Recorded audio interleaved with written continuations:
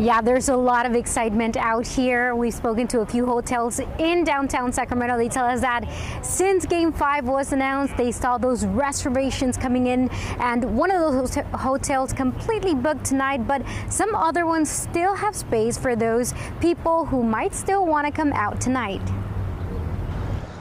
As game number five is underway in Sacramento, we have 505 guest rooms and we are sold out. And hotels are experiencing the Kings fever. It's definitely a vibe in downtown Sacramento. We saw the minute the game was announced, game five was announced, we immediately started getting reservations for today. Hotel reservations to watch the fifth playoff game between the Sacramento Kings and Golden State Warriors are up. It's such an exciting time. Uh, we've definitely seen an increase in um, our food and beverage outlets, the bars, bars, the restaurant, our Starbucks. But it's not only out of towners joining the excitement and filling up the rooms. Definitely an increase in overnight guest rooms, people coming in to see the game, whether it's out of town guests or even locals who might be coming to be part of the excitement that's happening in and around the arena.